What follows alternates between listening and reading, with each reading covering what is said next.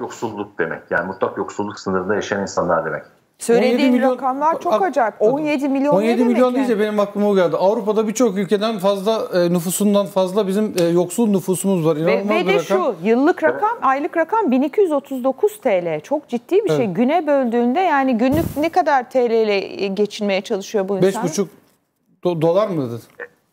E, ya şey e, e, bu bunu şey için söyledim. E, e, e, ücretsiz izne çıkarılanlar için söyledim. Anladım. 2020 21 koşulları için.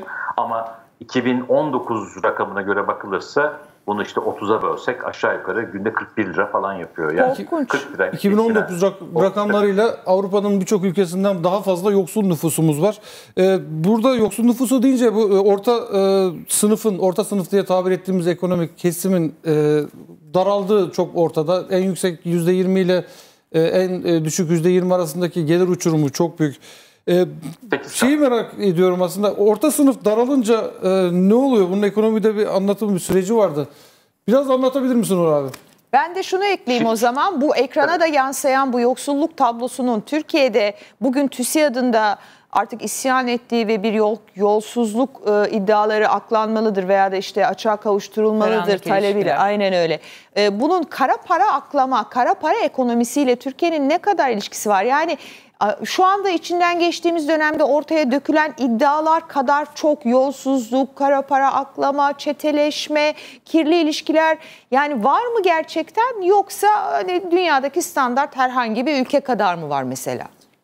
E, biraz şeyle bağlantı kurmak istiyorum ben. Aslında e, neden biz bu yolsuzluk işte e, konuşulan bu e, mafyatik şeyler, ilişkiler, e, çete ilişkileri diye bakıldığı zaman fotoğrafa neden bu çok ilgi çekiyor son dönemde diye düşündüğüm zaman giderek yoksullaşmayla bağlantısı olduğunu düşünüyorum. Yani iş kayıpları, gelir kayıpları, istihdam kayıpları, artan işsizlik çok derin bir şekilde özellikle 2020'de vurduğu için insanların aslında asabı bozulmuş durumda. Yani gelir kayıpları da var. Hatta şunu hiç tartışmıyoruz biz son dönemde. E, işini koruduğu halde e, 2020 yılında ya da 2021'e geçişte e, zam alamayan insanlar var. Yani e, işini korumuş oluyor görüntüde ama reel olarak gelir kaybına uğruyor. E, yani kim %20'ye yakın e, zam aldı diye düşündüğüm zaman herhalde etrafımda görmedim yani bu, bu tür e, bir e, yüksek zam alan. Yüksek zamla kasıt da enflasyon kadar neredeyse. E, enflasyon kadar bir enflasyon telafisi alan bir şey yok, bir fotoğraf yok. Bu şu demek, işini koruyanlar bile aslında gelir erozyonuna uğramış demek. Ve giderek de tabii bu insanların asabını bozuyor çok doğal olarak. İkincisi de gelecek kaygısı. Yani e, biz bugün işimiz olsa bile etrafta işini kaybeden insanlar olduğu ölçüde e, kendimizi güven içerisinde hissetmeyiz.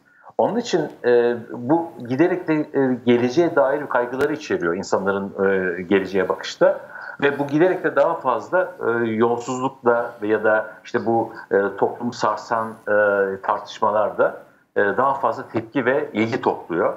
E, ben biraz ona bağlıyorum. Yani e, Sedat Peker'in e, e, videolarının bu kadar çok izlenmesinin sebebi aslında evet e, ne yapılmış, ne olmuş sorusuna yanıt araması insanların. E, hukuk sistemi de buna cevap vermediği için e, aslında e, biraz da böyle düşünmek gerekir diye düşünüyorum. İpek? Evet. Ee, aslında biraz da e, bu son dönemde çok konuşulan prekarya sınıfının e, artması da bununla ilgili değil mi? Esnek çalışan insanlar Evet. yani değil mi? Evet, Güvencesiz, yani- esnek. Şöyle e, işini kaybetmemek için işte az önce söylediğiniz e, düşük ücrete çalışma, Razı zam oluyor almama gibi şeylere razı olan insanlar. E, ben e, yoksulluktan e, ziyade şunu sormak istiyorum. Merkez Bankası Haziran ayı para piyasaları kurulu toplantısı sonrası e, politika faizini değiştirmedi %19'da bıraktı. E, bu enflasyona yeni bir yük getirir mi diye sormak istiyorum. Tabii ki dolaylı olarak yurttaş bundan nasıl etkilenecek? Ben de şöyle ekleyeyim o zaman. Sizce ne kadar daha bu bakanlar, bu Merkez Bankası başkanları koltuklarını koruyabilir? Her gün Sabah gazetesinde köşelerde yeni bir yorum okuyoruz. Valla bu şeyi söyleyeyim, e, ekonomik kararlar artık ekonomik kararlar değil tamamen siyasi kararlar. Yani e, mesela şey tartışması da var. Cumhurbaşkanı Erdoğan bu faiz e, konusunda ne yapacak, nasıl bir tepki gösterecek? E, şunu söyleyeyim, siyaseten kendisini sarstığını düşünüyorsa, düşündüğü noktada faiz artışına da izin verir ya da faiz artışına ses çıkarmaz. Geçmişte biz bunu gördük yani 2018'de işte Fransa krizi patladığı zaman e, Ekim ayında Merkez Bankası gitti gün diye işte 4-5 puanlık bir faiz artışı yaptı. Ee, ve e, o dönemde de hani kur patlıyordu. Şimdi şeyi söyleyeyim, e, İpek Hanım sorusuyla bağlantılı. E, Merkez Bankası Başkanı gelir gelmez şöyle bir hava verdi ki e, zaten gazetede yazdığı yazılardan ve e, duruşundan daha önce de şöyle bir iması vardı. E, faizler düşük olmalı. Evet. Şimdi geldiği zaman büyük bir tedirginlik yarattı. E, faizleri mi indirecek hemen diye. E, o da paniğe kapıldı çünkü kur patladı. Kur %10'a yakın arttı Naci Ağbal'dan sonraki dönemde. E, bir geri çekildi. E, sonra Mayıs ayında geçen ay e, Merkez Bankası'nın politika metinlerinde e, sıkı e, duruş e, ibaresi vardı. Onu çıkarttı. Bu şöyle bir sinyal olarak algılandı. Eh tamam giderek faiz indirme düşüncesi var. E, bir aşamada e, bu faiz indirimi yapacak. Sonra Cumhurbaşkanı Erdoğan bir söyleşide dedi ki ben Merkez Bankası Başkanı'nı aradım. E, bir Temmuz Ağustos'u geçelim bakalım deyip e, cümleyi öyle bıraktı. Bu şu anlama geliyor muhtemelen. E, Cumhurbaşkanı e, Merkez Bankası Başkanı'nı aradığı zaman e, kendisine bu şekilde söylendi. Yani efendim bir Temmuz Ağustos'u geçelim ondan sonra bakarız yapabiliriz gibi görünüyor dedi muhtemelen. O yüzden de Cumhurbaşkanı böyle bir şey söyledi. Şimdi e, bu ay ne oluyor? Bu ay tabii Amerikan Merkez Bankası'nın e, e, enflasyon geçici demesine rağmen e, dün işte gelen rakam şeyler var, veriler, açıklamalar var. E, Merkez Bank, Amerikan Merkez Bankası içerisindeki kurul üyeleri enflasyonun daha da yüksek olacağını ve politika faizinin de daha fazla yükselebileceğini işaret eden bir şey yaptılar, bir tablo yayınladılar. Her zaman yayınlanan bir tablo. Burada tabii enflasyon yükseliyor Amerika'da ve e, Amerikan Merkez Bankası da birden panik olmasın diye piyasaları sakin tutmaya çalışıyor. E, korkmayın hemen faiz arttırmayacağım gibisinden. Ama böyle gümbür gümbür gelen bir enflasyon var. E, geçici faktörleri bir tarafa bıraksak bile. Bu tabii ne getirecek onu söyleyeyim. Hı hı. Bu giderek Türkiye üzerinde de bir baskı yaratıyor. Yani bizim gibi gelişen ülkeler üzerinde baskı yaratıyor. Türkiye gibi kırılgan ülkeler üzerinde baskı yaratıyor. İşte kurum bugün 8.70'lerde 72'lerde olmasının sebebi de biraz bu. Amerikan doları güçleniyor dışarıda ve e, bu giderek de bizim enflasyon üzerinde baskı yaratacak. Hala şeyin e, şunu söyleyeyim. E, şeyden sonra e, Naci Abal'dan sonraki dönemde e, %10'luk bir kur artışı oldu ve bu kur artışı devam ediyor. Bunun getirdiği emtia ve diğer unsurlarla beraber aramalı e, fiyatlarını yukarı çekti ve e, şu anda e, son bir senelik aramalı fiyat artışı %40-45'ler civarında. Şimdi üreticiler bu maliyetlerle karşılaşırken tüketiciye yansıttıkları fiyatı, fiyatlamayı düşük tutmaları mümkün değil. Sermayeden yerler. Tamam bir takım geçiş faktörler var. Mesela hükümet bir takım vergileri, dolaylı vergileri düşük tuttu. Mesela akaryakıttaki ÖTV gibi. Ama bu sürdürülebilir bir şey değil. Eninde sonunda bir şekilde bunlar yansıyacak. Ya şu, o zaman da Merkez Bankası faiz arttırmak zorunda kalacak. Onu yani söylüyorum. Dünyada Şu faiz anda, arttırma eğilimi var. Onu mu demek istiyorsun? Yani dünyada zaten faize gidiyor. Bizim için uluslararası konjonktürde hiçbir şekilde müsait değil e, faiz indirmeye. İşte Daha da zorda kalacak.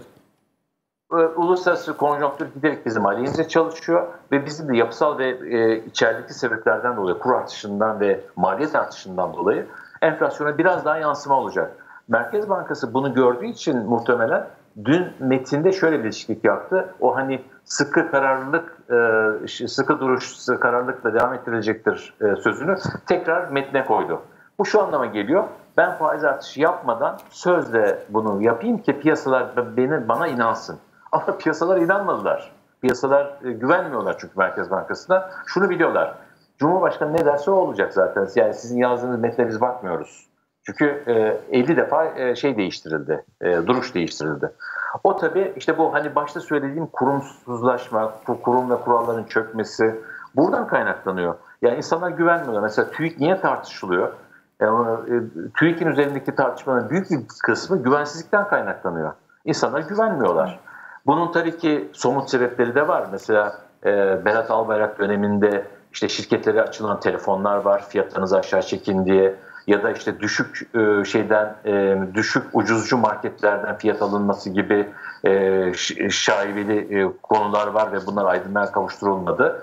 İster istemez bu güven kaybı kuru her alanda yani ekonomide, siyasette, hayatın her alanında bütün o kamu hizmetlerinde de öyle. Mesela e, e, Sağlık Bakanlığı e, Covid vakalarını açıklıyor, sayıları açıklıyor, sonra değiştiriyor. Ve burada da bir güvensizlik oluştu geçmişte hatırlayalım. E şimdi böyle bir tablo içerisinde e, insanlar güvenini kaybettiği ölçüde e, şeyi kaybediyorlar. E, e, kendi ülkesindeki parasına, ekonomisine olan güveni kaybediyorlar çok doğal olarak. O yüzden diyorum yani ekonomik reçeteyle düzelebilecek bir konu değil. Durum değil ekonomi. artık bu. Evet, bütün mesele e, tekrar e, sosyal e, adaletin, hukuk sisteminin hayata geçmesi, şeffaf hesap Siyaset verilebilir. Normalleşmesi. bir yapı yapı kurulması ve Türkiye'nin normalleşmesi. Ee, çok teşekkür ediyorum. Ee, Ben bir Uğur son Gülses. soru sorabilir tabii, miyim? Evet, Özlem? tabii ne demek? Ee, Uğur Bey, Ziraat Bankası ile ilgili bir soru sormak istiyorum. Aa, gerçekten en önemli konuyu Ee, atladık yani. Şöyle genel müdür bugün bir açıklama yaptı. Demirören grubuna verdikleri 750 milyon dolarlık kredinin geri ödenmediğine ilişkin e, bir soru soruldu kendisine. Şöyle dedi, kredi canlı hesaplarda izleniyor. Mevzuat neyi gerektiriyorsa aynısını bu krediye de uyguluyoruz. Ne demek istedi tam olarak acaba? Ben gerçekten anlamadığım için soruyorum. Burada söylenen şey şu, e, canlı kredi demek yani biz bunu batık kredi olarak bir defter kitaba yazmadık. Deftere bu şekilde işlemedik. Hala izleniyor e, diyor ama soru şu. Ödeniyor e, mu? Birçok e, ödeniyor mu? Yani faizleri ödendi mi? Yeniden yapılandırıldı mı? Bunları söylemiyor bize. Yeniden yapılandırma demek şu demek. Borcunu ödeyemeyen birçok firma var. Böyle kredi almış ve borcunu ödeyemiyor. Ne yapıyorsunuz? E, belirli kadar buna bir imkan sağladı son dönemde özellikle pandemi döneminde. E, e, borcunu ödeyemiyorsa o zaman biz yeniden yapılandıralım, tekrar taklattıralım bu e, krediye denilmiş olabilir. E, ikincisi de tabii şu var yani şu çok büyük bir soru işareti. Gelirleri Türk lirasıyla olan bir e, işletmeye siz döviz kredisi veriyorsanız ve kur da ikiye katlanıyorsa o borcun geri ödenme imkanı yoktur. Çok zordur. Yani e, kurların tekrar yarı yarıya düşmesi lazım ki o borç geriye ödenebilsin. Böyle bir tartışma konusu var. Yani e, herhalde e, e, kifayetsiz bir yanıt olmuş genel müdürün bu yanıtı. Teşekkür ederim. Peki. Uğur Gürses çok teşekkür ediyoruz. Deniz. Ben Teşekkürler. teşekkür ederim. İyi akşamlar. Çok teşekkür ediyoruz. Aslında bir şey ekleyeyim ben.